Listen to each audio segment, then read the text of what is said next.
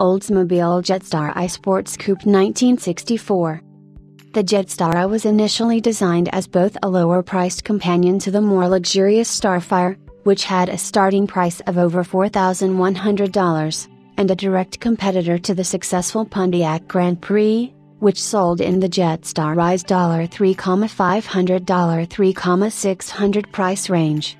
Offered only as two-door hardtop coupe, the Jetstar I shared the Starfire's squared-off roofline, with concave rear window, which differed from the convertible-inspired rooflines featured on other Olds 88 two-door hardtop coupes.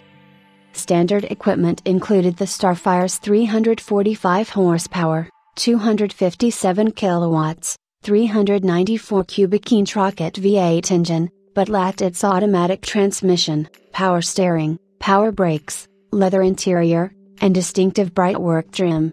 Included were bucket seats, center console, carpeting, full wheel covers, and padded instrument panel. A 3-speed column shift manual transmission was standard, with a 3-speed roto-hydramatic automatic with console-mounted T-handle shifter optional.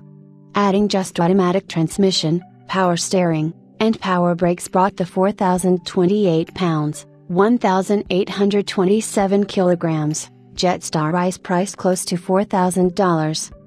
A total of 16,084 were produced for 1964, slightly below Starfire output but barely one quarter of the 63,000 Grand Prix built by Pontiac.